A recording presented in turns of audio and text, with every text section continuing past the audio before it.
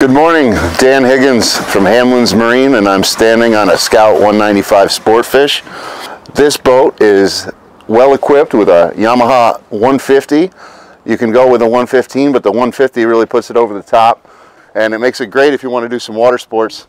Uh, so water skiers, tubes, wakeboards and it comes with this uh, rear folding bench for additional seating.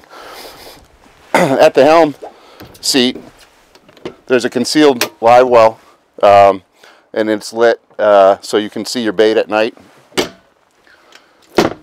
T-tops powder coated for a nice finished look and uh, you're going to find the highest uh, grade of components from the gauges, the Yamaha digital gauges to the Fusion stereo.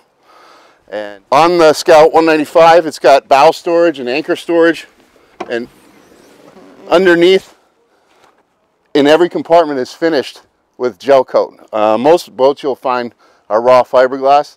The raw fiberglass is rough and you can cut your hand. So Scout really uh, wants to be the leader in quality when it comes to center console style boats.